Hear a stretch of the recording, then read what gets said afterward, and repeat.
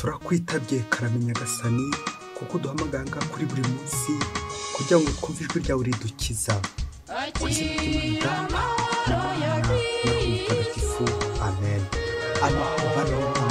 Nimuhumure imana iradukunda kuba yemeye ko twumvira ijambo ryayo uyu munsi ijambo ry'ihumure ijambo ridukiza kuri wa gatanu w'icyumweru cya makumyabiri na bitandatu tariki mirongo itatu nzeri bibiri na makumyabiri na kabiri ubwo duhimbaza mutagatifu jerome umuhanga wa kiliziya.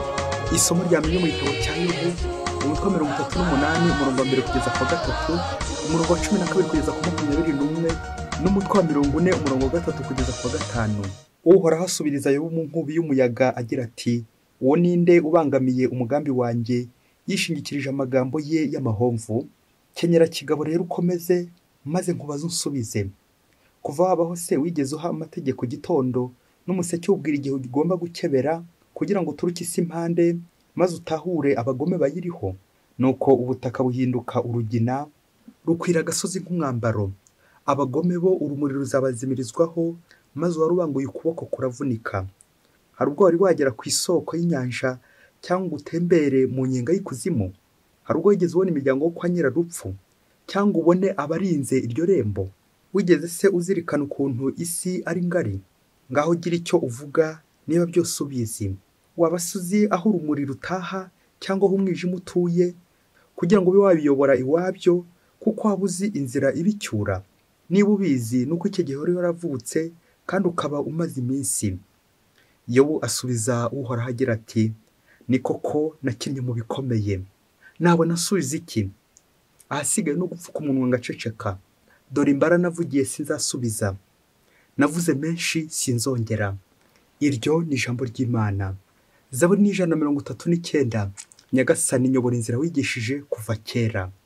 Uhoraho ndeba mu ntebe z'umutima ukamenya wese iyo nicaye niyo mpagaze byose uba ubizi imigambi yanjye uyimenya mbere y'igihe ari imbere ari n'inyuma yanjye hose uba uhari najya he kure y'uruhanga rwawe nahungere kure y'amaso yawe naho nazamuka ku ijuru uba uhari naho narigita nkaryama ikuzimu uba naho namera amabangu y'umuseke weya maze nkajya kwiturira mu mpera y'inyanja naho ngaho ukuboko kwawe niko kuhanjyana indyo yawe ntigire ubwo indekura. Ni wowe wenyine waremye ingingo zanjye umubumbabumbira mu nda ya mama. Ndagushimira ko wandemye ku buryo buhimbye ibikorwa byawe biratangaje. Nyagasani nyobora inzira wigishije kuva kera. Uyu munsi ntitugundirize umutima wacu ahubwo dutege amatwi ijwi ry'uhoraho. Nyagasani yezu nabane namwe. Amagambo mu ivanjiri ntagatifu yanditswe na luka umutwe wa cumi umurongo wa cumi na gatatu kugeza ku cumi na gatandatu. Igihe yezu yabwiraga abigishwa mirongo irindwi na babiri yaravuze ati iyi mbere korazini iyi mbere betsayida. Kuko ibitangaza byabakorewemo iyo bigikorerwa muri tiri no muri sidoni kuva kera baba barisubiyeho bakambara ibigunira bakisiga ivu. Nyamara ku munsi w'urubanza muzahanwa kurusha tiri na sidoni. Naho we kafarinawumu ubona ko uzakuzwa kugeza mu bicu. Uzaroha mu kuzimu. Ubumva ni aba yumva. Ubahinyura ni abahinyura. Kandi umpinyuye abahinyuye n'uwantumye iyo ni ivanjiri ntagatifu ubumva ni aba yumva. Amen amen amen. Bakirisi bavandimwe yezu kirisi akuzwe. Iyo numvise intumwa y'imana ni imana mba ndi kumva iyo numvise ijambo ry'imana ni imana mba ndi kumva kumva ijambo ry'imana harimo ibintu bibiri. Kumva umuvandimwe ndetse no kumva imana ubwayo. Ibi byose bikadufasha kwegera abavandimwe bacu no kwegera imana. Umunsi umwe hirya kure cyane muri afurika umugabo w'umubose yagiye mu isoko bishoboke ko yari agiye guhaha yarahagarariye uruganda byumvikana afite uruhu rw'amafaranga. Nuko ageze mu mujyi ahura n'umuntu we agira ngo ari kumusaba. Abasabirizi baba bari ku muhanda baba bari mu isoko. Nuko amugeze imbere we yitaga umusabirizi aramukomakoma ari nko kumukubita umubose aramwirengagiza bishoboke ko ashobora kuba yanamuciriyeho ngo namureke. Bigeze aho ngaho wa wundi yise umusabirizi yongera arapfukama ari nko kumwinginga amusabiriza. Bose nanone ntiyamwitaho arikomereza arigendera. Nuko bose ari kuva mu isoko nyine ageze hirya ahura none naho umuntu wahoze amusabiriza atangira kumwiyama no kumutonganya aramubwira ati ntuzongere kunsabiriza mu isoko. Nuko wa muntu ngo wari uri kumusabiriza aramubwira ati njye nawe ndi gukuburira kuko ibisambo byaba biri guca agakapu kawe. Nageze aho mfukama kugira ngo nkwinginge kuko nabonye bari kuyaterura nyine. Bayajyana. Kwari kugira ngo nkuburire byibuze ubafate ubungabunga amafaranga yawe. None wanze kunyumvira. Koko bose arebye muri ka gakapu asanga kari kumuhamagara nta na kimwe kirimo. Rwa ruhu rw'amafaranga rwose yari atwaye asanga nta na kimwe kirimo. Bakirisi bakirisi bavandimwe kumva kumvira kumva abantu bose baza batugana aho kubita ngo basabirize ahubwo tukabanza tukabikiriza tukumva icyo batubwira. Amen amen amen. Kuri iyi tariki ya mirongo itatu nzeri ari na yo isoza ukwezi kwa nzeri nyine turahimbaza mutagatifu yeronimu. Amasomo y'uyu munsi na yo hamwe na mutagatifu yeronimu duhimbaza bibumbiye hamwe biraza kudufasha gutondagura inshinga yitwa kumva ekute. Rero mu gutondagura inshinga yo kumva binsaba iki? Kumva umuvandimwe wanjye ndetse no kumva imana. Mutagatifu yeronimu duhimbaza none padiri umuhanga wa kiliziya tukaba tumukesha guhindura mu rurimi rw'ikilatini verisiyo yitwa lavurigate ubwo bibiriya yahoze ari mu rurimi rw'igihebureyi isezerano rya kera ndetse no mu rurimi rw'ikigereki isezerano rishya yeronimu yaje kuyihindura mu rurimi rw'ikilatini. Iyo verisiyo yitwa lavurigate mutagatifu yeronimu cyane cyane yibanze kuri bibiriya ijambo ry'imana ubwo yavuze ati wamenya imana ute? Niba utumva ijambo ry'imana. Amen amen amen. Bakirisitu bavandimwe guha agaciro ijambo ry'imana.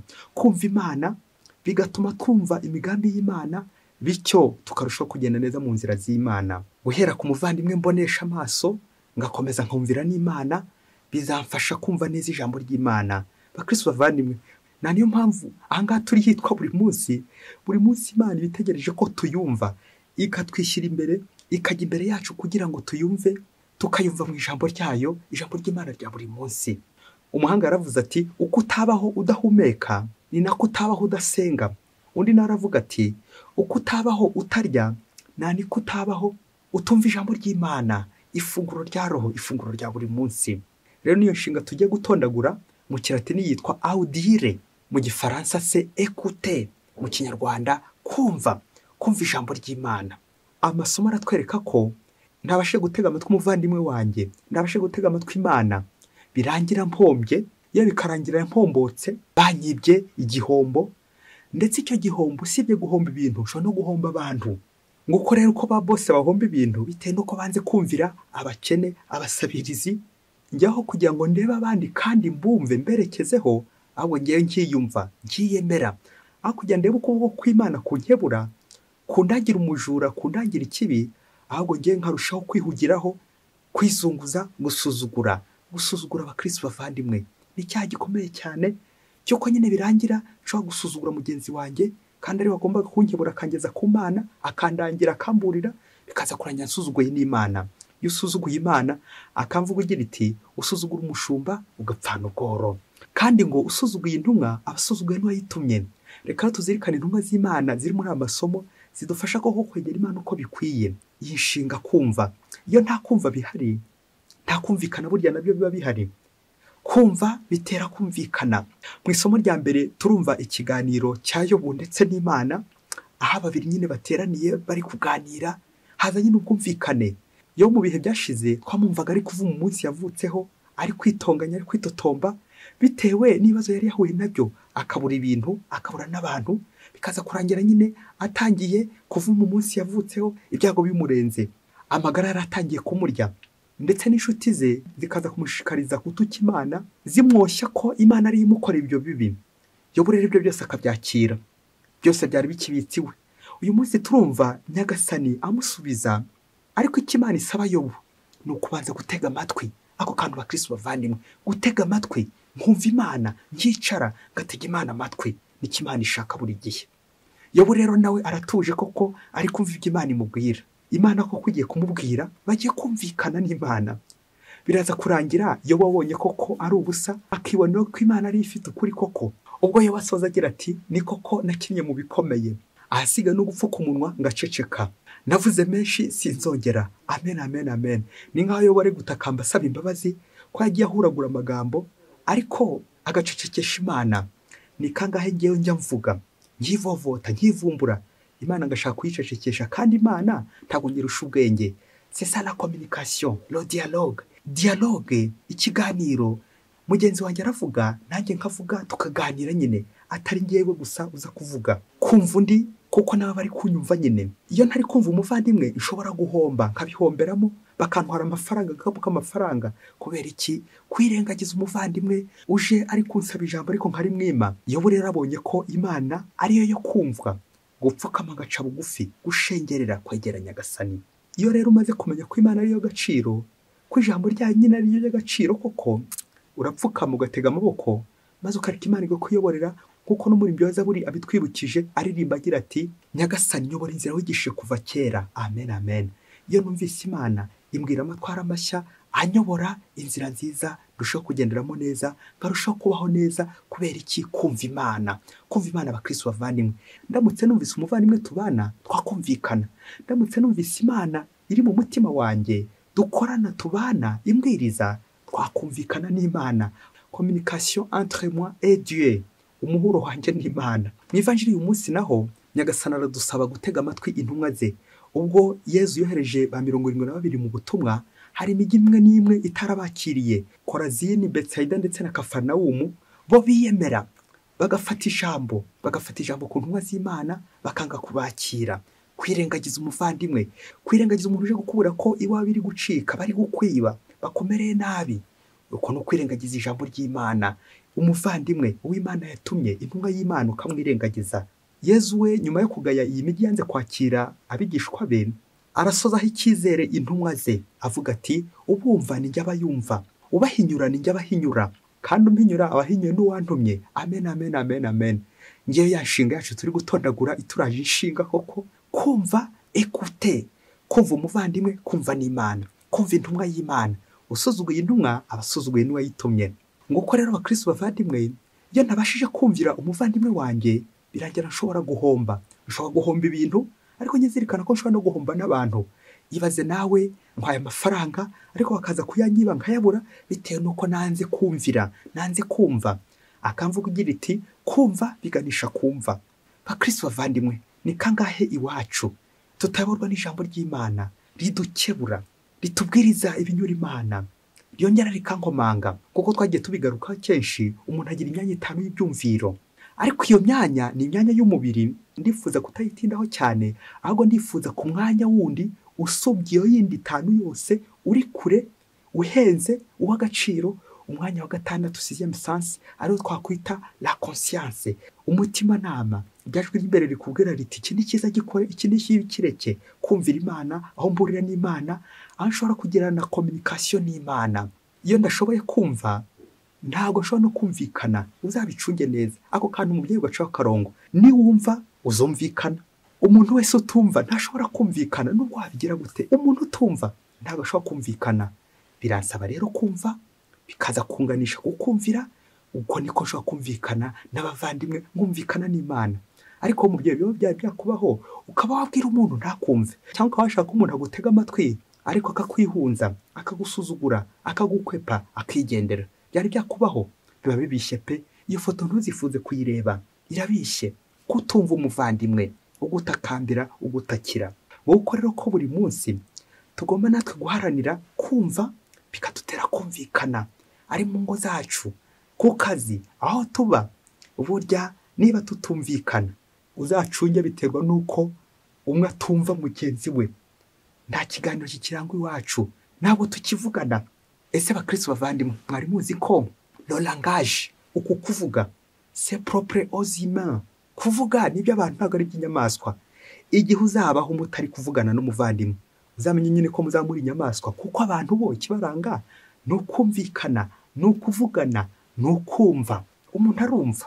Niba tudashobora kuganira kabaye kabaye twageze mu ishyamba kurumana bigiye kuza kuryana byaje niba tudashobora kumva niba tudashobora kumvana twumvikane. Kumva kumvana kumvikana kumvira. Izo nshinga zose murumva ko zihuye zikaza kudufasha nyine kugera ku mwanzuro mwiza wo kubana neza. Niba numva umuvandimwe wanjye tuzabana neza pe. Niba numva imana buri munsi ijambo ryawe rinkebura rimbwiriza. Nzabana n'imana neza numva icyo imana ishaka hapana icyo ngewe nshaka. Umuntu utumva akora ibyo ashaka bikaza kurangira ahombye naho wumva agirwa inama bityo n'undi akamuha igitekerezo maze akarushaho gukira. Iyo utumva urahomba kandi ugahombana guhomboka bitabuze. Umunsi umwe hirya kure cyane muri afurika ngo urugo rw'umugabo n'umugore batumvikanaga batavuganaga batacanaga uwaka. Gusangira shwi kugendana shwi ku bana biranga neza neza.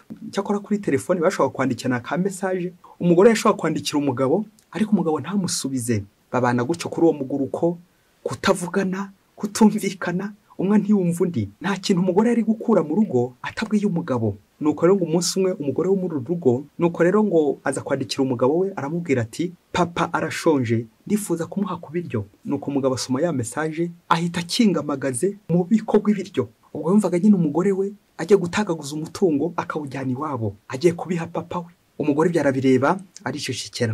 Ngo igihe kiza kugera wa mugore yongera yandikira umugabo we ati papa ararwaye fata imodoka yawe tumujyane kwa muganga. Wa mugabo ahita afata imodoka ye nuko arigendera ntiyakura umugore. Ubu ukurikiye nanone bwa gatatu umugore aramwandikira ati ubu ngubu papa ararembye ari kwa muganga twabuze amafaranga yo kwishyura imiti. Nuko wa mugabo ngo ahita afata udusabo twose twa banki ahari yabitse amafaranga hose aradutwara kugira ngo nyine umugore ataza kwibeshya ngo ajye kubikuza amafaranga. Nuko n'ukurikiyeho ku nshuro ya kane umugore aramwandikira amubwira ati ubu rero papa ararembye. Mbisemo kumuzana hano mu rugo. Umugabo bwakurikiyeho ntiyongeye gukandagira no muri urwo rugo ubanza yarahise ahunga urugo he no kuzongera kumubona. Noneho ku nshuro ya gatanu umugore nanone aramwandikira iyi baruwa noneho yarurangiza aramubwira ati papa yapfuye. Babyeyi mwumva ko igikurikiyeho uyu mugabo nyine yagombaga kuza gushyingura. Nanone ngo ntiyaje yari yaragiye nyine yaratorongeye. Nuko kera kabaye bagiye gushyingura bageze ku irimbi abavukana na wa mugabo barebye hirya no hino babura mukuru wabo. Nuko baratangira baramuhamagara bati ese twashyingura gute papa? Kandi ari mfura ye udahari? Nuko wa mugabo agwa mu kantu yumvise ko papa we yapfuye. Nuko aza yiruka aje gushyingura nyine. Aha babyeyi babyeyi babyeyi munyumvire. Uyu mugabo aje gushyingura kubera ko mvise barumuna we mubwiye ko ari papa witabye imana. None ni bwo aje aje gushyingura. Kandi kuva kera kose umugore yaramwinginze. Inshuro eshanu zose ngo aze yite kuri papa we arabyanga. None aje kubera iki? Kubera ko bavuze ko ari papa we. Ariko wumvaga ibyo umugore yamubwiraga avuga ko ari papa kandi mbere yari yaramwirengagije azi ko ari se w'umugore ari sebukwe yanga kuza kumwitaho akiriho. Bakirisi bakirisi bakirisi bavandimwe. Nguko tutumva bagenzi bacu bakiri ku isi tukazabumvira ku irimbi tukazabumvira mu mva kwa kumva nyine biganisha kumva nguko umuntu ashobora guhomba ugahomba ibintu bikarangira uhombye n'abantu. Kutumvira bingana kutumvikana kutumvikana bingana gupfa. Ushobora no gupfa uhagaze kandi na byo byabaho. Bana b'imana ngo kuko abantu benshi aya masano y'umubiri akomeza kugenda dukwega tukaba abanyamwigendaho tugashaka kwiyumva twebwe aho kumva bagenzi bacu tubana aho kumva bagenzi bacu badutabaje. Ibaza nawe izi nshuro eshanu zose uyu mugore arimo atakamba ese ngo nuko yavuze ngo papa wanjye. Aha ubundi mu kinyabupfura umuntu wiyubashye umukazana wiyubashye ntabwo avuga sebukwe mu izina. Ntabwo avuga nyirabukwe mu izina. Icyo gihe aba ahindutse mama wawe icyo gihe aba ahindutse papa wawe. None rero kubera ko wowe wamenyera ibya runturuntu by'amasano yakwiziritseho icyo gihe nyine uracyafite mu mutwe wafunze umutwe ko papa wari ukubyara mu nda mama wawe ni ukubyara mu nda umuvandimwe wawe ni uwo muvukana mu nda imwe babyeyi babyeyi babyeyi ikibazo cy'amasano. Uko no gutumvikana uko no kumviriza bizarangira nyine mushwanye bikazarangira unapfuye. Nguko gupfa uhagaze ndetse ukaba wanica abandi kubera iki? Gutumvikana burya umuntu utumvikana n'abandi. Wageze no kubica wagize ngo bibuze. Ngo kwica abandi mu mutima ukirengagiza umuntu wagombaga gutabara kubera iki? Wamwimye akanya wanze kumwumva. Aho ngaho nta kominikasiyo nyine igiharangwa. Aho ngaho nyine ni kwa sekibi hari urupfu. Aho ni mu kuzimu. Mu kuzimu burya kubera ko hari umuriro nta kominikasiyo nyine ibayo. Buri wese aba ari gucangize mu muriro nyine mu kajagari. Ngo uko mu rugo rwacu iyo tudashoboye kumvira iyo tudashoboye kumvana no kumvikana ntibyabaho. Bizarangira ibintu tubifunze yamagaze harimo inyanya tukayifunga zikaza kuboreramo ibiribwa bikaboreramo kugira ngo numvishe mugenzi wawe. Iyo ntumva umuvandimwe simwumvire sinumvikane nawe. Birangira ndi gushaka kumwumvisha. Ngo uko ushobora kumvisha umuvandimwe mu bana uwo mwashakanye ngo yita ku miryango y'iwabo. Nyamara se wasanga ari kwita ku miryango y'iwanyu kurenza uko yita ku ye? Kuko yabashije kubyumva nyine yumvise iyo sano iyo sano yo muri urwo rugo iyo sano afitanye nawe ko umubyeyi wawe ari nawe umubyeyi we. Papa wawe niyo papa w'umugore wawe niyo papa w'umugabo wawe. Mwese murahuje. Icyo ni cyo kiranga nyine abantu bumvikana. Guhuza mugahuza imiryango mugahuza ababyeyi byose mugahurira hamwe. Mugahuriza ku meza hose. Mugahuriza mu gusangira. Mugahuriza mu kuvugana. Kumva kumvira kumvikana. Mukabona imana mu rugo rwanyu mugahura n'imana mugasabana mukita ku bazabagana. Aho ngaho nyine hari ubwumvikane. Ndagira ngo nkubwire ngo ahatari ubwumvikane nyine mu muri ntatane aho ni kwa sekibi. Nta n'icyo mwakwimarira. Nta kuri kuri aho nta mana iri aho. Ibaze nawe uri nka padiri bakagutabariza umurwayi ngo agiye gupfa ngo uze umuhe amasakaramentu ni ukugatangira uti ndabanza ndaza kuza nimbona akanya ndaza nimbona akanya ababyeyi. Nuko rero utarabona akanya bakagutumaho bati wa muntu amaze kwitahira. Padiri padiri padiri padiri. Ni kangahe abantu baza bangana? Simbumve. Ni kangahe mugenzi wanjye nkebura ariko simwumve ni kangahe nsimbarara ku mafuti yanjye ku bugome bwanjye ku bitekerezo byanjye sinumva abandi? Ni kangahe ndi umuyobozi?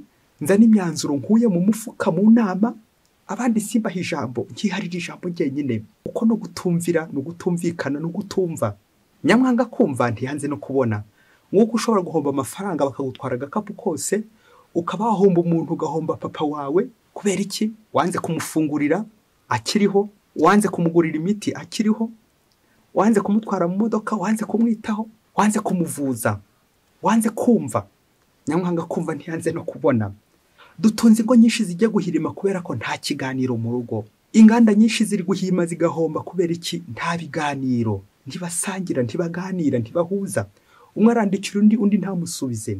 Dufite ibigo byinshi biri guhomba kubera iki? Nta kiganiro nta bwumvikane. Umwe ntiyumva undi. Bikaza kurangira nyine batumvikanye. Kandi burya ari umwe mwacunga ibintu bya mirenge. Murara mu nzu z'imitamenwa mufite ibintu n'ibintu mukize. Niba umwe atumva undi ibyo ni zeru. Bizashira bizayoyoka. Niba mutumvikana mu rugo rwanyu niba mutumvikana ku kazi aho muri gukorera ubusa ibyo bintu bizahomba birangire namwe muhombye. Wagiye se ngo guhombana ntibishobora kuza ndetse no guhomboka. Guhomba ibintu ngahomba n'abantu. Bakirisi bana b'imana ujye wita ku muntu wese uje kugana. No kuri telefone wakira abantu bose bakwandikiye. Ubakire kandi koko byakunda unabasubize. Kwiga gusubiza kwiga kumva hanyuma nkanasubiza. Ni uko n'imana itugenzereza imana iratwumva tukayumva tukayisubiza. Ndifuza kubarangira ibiganiro byo gushengerera bituma twumva imana tugaceceka natwe. Nk'uko yobu nawe aceceka akumva icyo imana imubwira kuko imana ari ifite ukuri. Ibiganiro bikunze gutambuka kuri iyi shene yacu ya buri munsi byo kumva imana. Gushengerera uko nashengera yezu mukarisitiya impamvu ushengera ariko sinumva ijwi rya yezu ibyo biganiro byose mukirisi umuvandimwe niba ugera ahanga kuri buri munsi uzabyumve. Turushaho gutega imana amatwi nindeba imana akaba ari inyobora nkayitega amatwi bizamfasha kumva mugenzi wanjye kandi numva imana bityo mbeho neza. Wamenya imana ute niba utumva ijambo ry'imana. Soma bibiliya. Soma bibiliya. Uwo ni mutagatifu yeronimu ubivuga. Soma bibiliya. Umva ijambo ry'imana rya buri munsi. Mutagatifu yeronimu udusabire. Amen. Mwese imana ibaho umugisha. Imana data na mwana na roho mutagatifu. Amen. Ati musuko na siyasi wa diyosesi ya cyangugu.